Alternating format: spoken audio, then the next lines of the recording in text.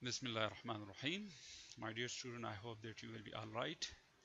So today is the third recorded lecture related to transportation problems. So I mean the today problem in transportation is Hungarian method. How to solve transportation problem while using Hungarian method.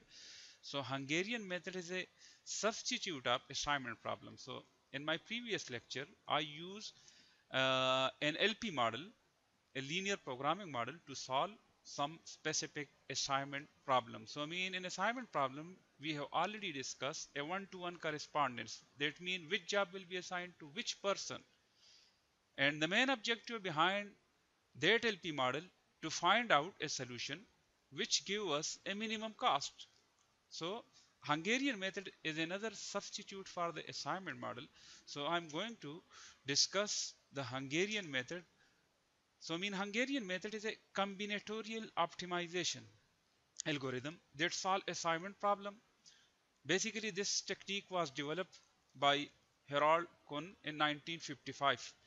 Basically this method is for assigning job by one to one correspondent. So similarly in the assignment model for which we use a linear programming model, we already discussed different constraint that it will be a one-to-one -one correspondence. Mean one person can do only one job at a specific time. So I mean the same postulate, the same rule will also be uh, apply in this Hungarian method. So this method is actually a special case of primal dual algorithm. So I mean we already studied the uh, dual simplex method in the linear programming optimization model, how to uh, minimize the cost, how to maximize profit, specifically where there is no minus sign with the coefficient in objective function. So in that case, we use dual algorithm. So I mean, this is also a special case of that primal dual algorithm. Hungarian method of assigning job by one for one matching to identify the lowest cost solution. So I mean, if you have difficulty to use LP model or for example you wouldn't be able in some cases for using the Lingo or Lindo software. So I mean this is another good substitute. You can easily calculate that which job will be assigned to which person or which machine will be assigned to a specific job. So be able to use the Hungarian method a one for one matching is required. So I mean once again it's still focusing on one to one matching. Each job for example must be assigned to only one worker it is also assumed that every worker is capable of handling every job. So I mean, for example, if we have four instructor and we have four different subjects. So it is important that all the instructor are capable to teach that specific course. But now the question is, because maybe some instructor will charge some more money. So I mean, how we will construct an optimal uh, feasible solution in order to minimize the cost. So it is also assumed that every worker is capable of handling every job and that the cost or value associated with each assignment combination are known and fixed not subject to variation. Because if some variation occur then maybe your optimal region your optimal solution will also change. So mean when variation occur then the chance of risk is also increase so be careful. You not need to change. You not need to bring variation in the objective function. The number of rows and column must be the same. Must be the same mean if there are four jobs jobs in the column.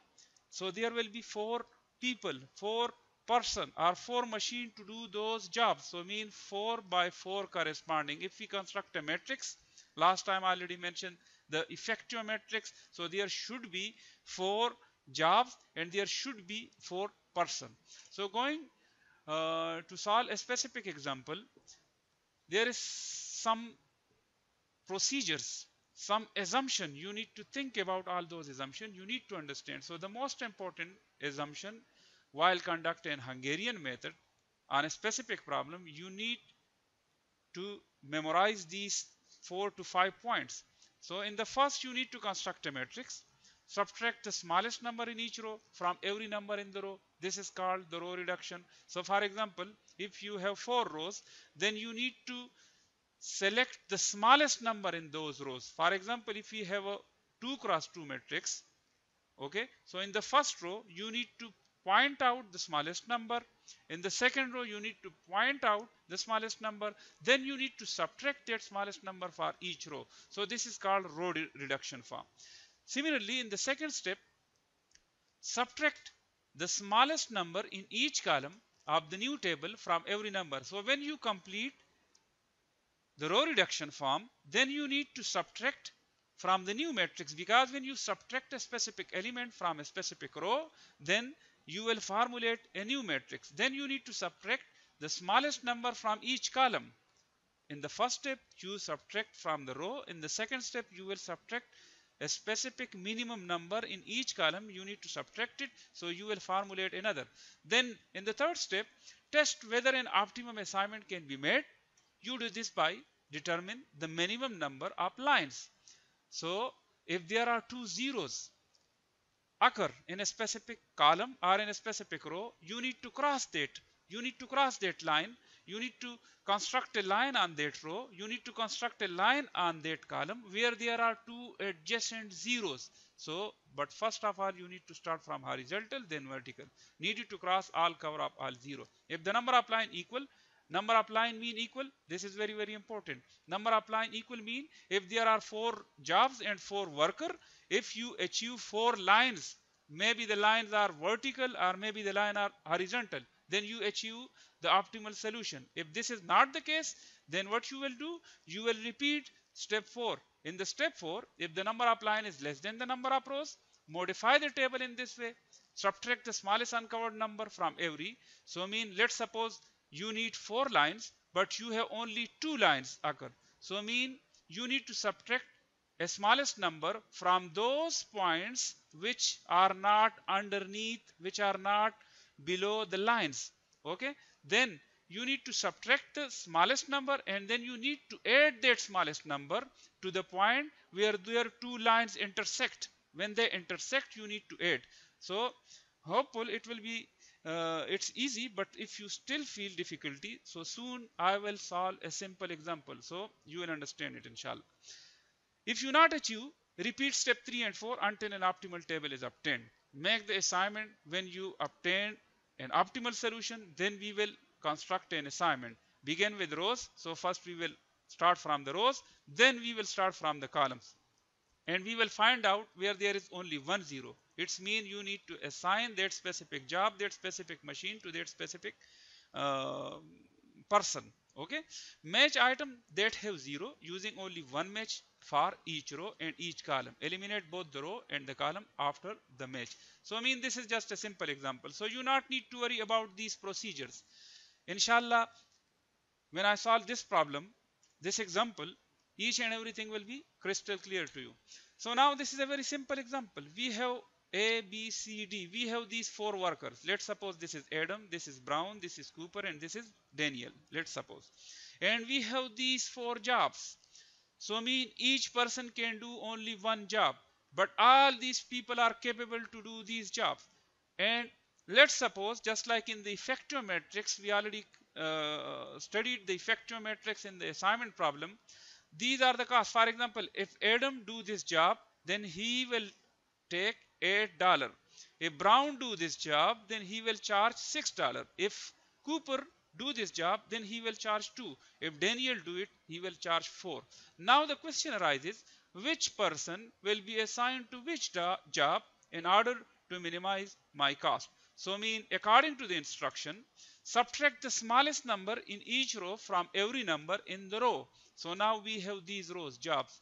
So now you need to subtract smallest number which one is the smallest number?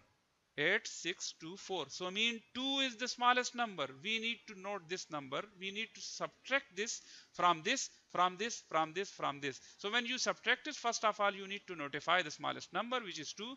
Similarly, in this row, this is my second row. This is job 2 row. 6, 7, 11 and 10. Which one is the smallest one? So definitely 6 is the smallest uh, number. So we need to subtract 6. So 6 when you subtract it. Similarly, in this row, 3 is the smallest number, this one. Similarly, in this row, 5 is the smallest number. So, okay, when you subtract 2 from this, so 8 minus 2 will be 6, 6 minus 2 will be 4, and 2 minus 2 will be equal to 0, and 4 minus 2 will be equal to 2. So, at this way, we will subtract 6 from the second row, 6 minus 6, 0, 7 minus 6, 1, 11 minus 6, 5, and 6 minus 6 minus 10 minus 6 is equal to 4. Similarly, from this row, 3 is the minimum one. So 3 minus 3, 0. 5 minus 3, 2. 7 minus 3, 4. And 6 minus 3 is 3. Similarly, 5 is the minimum number in this row. So 5 minus 5, 0. 10 minus 5, 5. 12 minus 5, 7. 9 minus 5, 4. So hopefully you understand this. Now in the second procedure, the second procedure is subtract the smallest number in each column of the new table. So we generate new table. This is our new table. After the row reduction, we got this. So second uh, postulate or procedure is subtract the smallest number in each row from every number in the row and enter the result in a new table. So now in this column, which one is the minimum one? 0. So we just write 0. In this column, 4, 1, 2, 5, which one is the minimum one? 1. So we just write 1. In this column, definitely 0 is the minimum number. Similarly, in this 2, 4, 3, 4, which one is the minimum one? 2. Then you need to formulate a new matrix, a new table, while deducting the minimum column number. So 6 minus 0, so this whole column will be same. No effect will be occur. Similarly, 4 minus 1 is 3, 1 minus 1 is 0, 2 minus 1 is 1, and 5 minus 1 is 4. Similarly, 0 is the minimum number, so 0 minus 0, 5 minus 0, so similarly this will be as it is because something uh, when you uh, subtract 0 from something it will be same. Similarly, minimum number is 2, so 2 minus 2 0, 4 minus 2 is 2, 3 minus 2 is 1 and 4 minus 2 is 2. Once again subtract the smallest number. So we already did this. Now you need to think about the third test whether an optimum assignment can be made. What will be the optimum assignment? You do this by determine the minimum number of line horizontal needed to cross out all zeros. So I'm just going to cross lines where there are two adjacent zeros. So this is my first line. Okay. There are two zeros. So I just construct this line and now we have two to three zeros. So I just construct another line. So now you need to think about we have only three lines but our optimal position is four. So we need four lines. So how we will ful fulfill this how we will fulfill this task.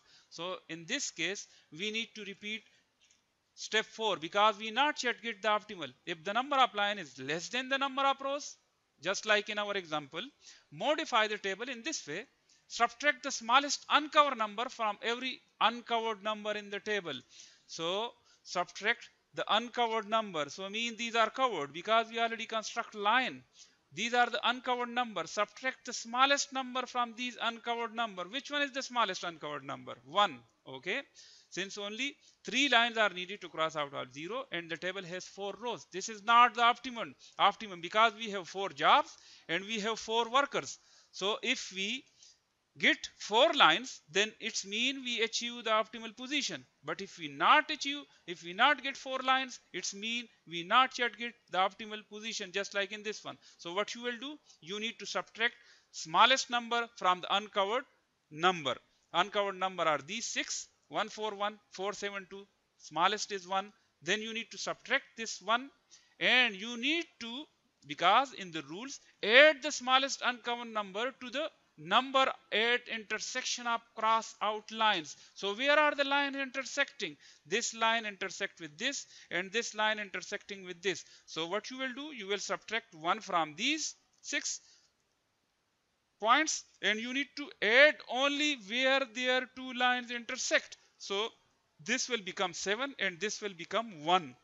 You not need to add with the rest only at that point where two lines intersect with one another. So proceeding subtract the smallest uncovered number value from every uncovered number that has not been crossed out and add it to the number that are at the intersection of covering lines. The result are as follows. So 1 minus 1 0 4 minus 1 3 1 minus 1 0 4 minus 1 3 7 minus 1 6 2 minus 1 1 and 6 plus 1 7 and 0 plus 1 1 so we will get this table.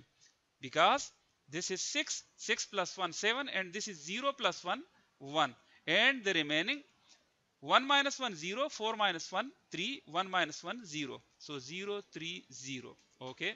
Then you need to to, to check if you achieve the optimality condition or not. Determine the minimum number of lines needed to cross out all zeros. Since this equal the number of rows you can make the optimum assignment. So there are two zeros. We want to construct a line just like this there are two zeros. We want to construct a line. Zeros. Finish. Okay there are two zeros. We also construct this line. So how many lines we have? One two three and four. It's mean we achieve the optimality condition. Now we will make assignment. But before going to proceeding to the assignment you need to check this. Make the assignment. Begin with rows or column with only one zero. So you need to find out that element in the matrix in the table where there is only one zero. Match item that have zero using only one match for each row and each column. Eliminate both the rows and the column after the match. So now in this row, in this column, you can see in this column there is only one zero. It's mean you need to assign job 1 to Cooper. So 1 will be assigned, job 1 will be assigned to 0. Is there any other 0? Yes, in this row we have only one zero. It's mean job 4 will be assigned to a. So you can see job 4 will be assigned to a. Okay? Is there any other zero? Yes there is in this row. There is only one zero. So it's mean job 2 will be assigned to b. So job 2 will be assigned to b. And the, the remaining one is so mean there is only one job left and there is only one person we have. So you need to assign that third job to daniel. Okay? So you already know the cost is mentioned okay? The cost is mentioned. Then you need to do what? If you assign job 1 to Cooper he will charge two dollar. You can see if you assign job 1 to Cooper he will charge two dollar. If you assign job 2 to B then how much he will charge? If you assign job 2 to B he will charge 7 so 7 3 to D 6 4 to A 5. So the total cost will be 20 dollar. The total cost will be 20 dollar. So I mean this is another substitute of the assignment problem. You can also use Hungarian but the, the difficulty in Hungarian method it will be a one-to-one -one correspondence and the number of worker and the number of job will be equal. The number of machine and the number of jobs will be equal. So I mean this is a little between uh, complexity in this Hungarian method. So I mean uh, in, the, in, in the next part of this lecture I will show you how you will handle a problem where the, uh, the, the problem is not symmetric. Symmetric mean where the number of rows and the number of column are not equal. So inshallah I will uh, share you a simple example in that and you will understand the